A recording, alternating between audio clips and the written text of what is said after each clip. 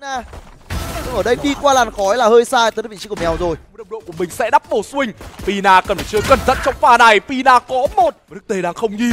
Đức Tề không có vào trong đội một mạng một đó là tất nhiên rồi vip ở đây thì chính là NTK và giờ thì sao? Lao vào luôn tên lưu hiếu để có thể vào sai nhanh.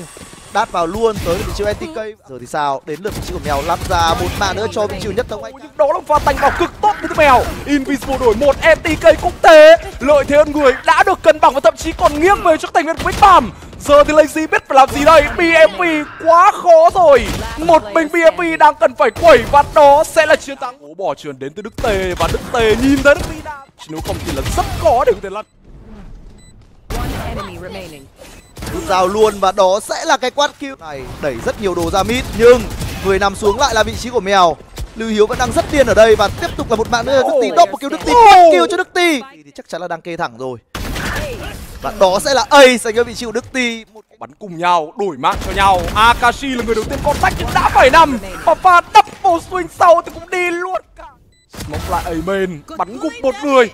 Và có giếng trọng lực để có thể di chuyển vào cùng vị trí của MTK double kill gọi tới Pina rồi.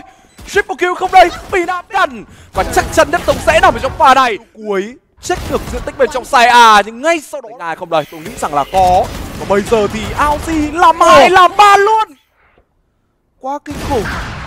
Và giờ thì đây mèo có một lộ vị trí đến từ anh chàng mèo và đẩy ra luôn đến từ Aozi nhưng Aozi lại bắn lôi. Và quá hung hãn.